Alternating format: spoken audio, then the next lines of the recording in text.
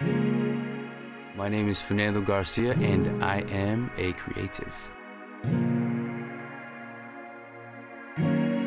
Jesus, at some point, you know, after doing so many miracles, everyone was like following him. He had to go away from everyone, even his disciples, and just uh, go off and pray.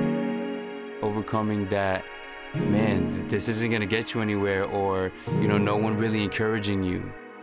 I've always had inclinations to the arts. You know, I think most people when they're young, they they doodle. I just never got out of that stage, and it just kept going and going and going. You know, I get inspiration from the most mundane things: a subway ride, a, a walk in the park. You know, and I, I want to inject something personal so that someone else can reflect and be like, "Wow, I'm going through that too." You know, I'm not the only one, and um, and just maybe speak to someone through my work, but something positive, inject something positive.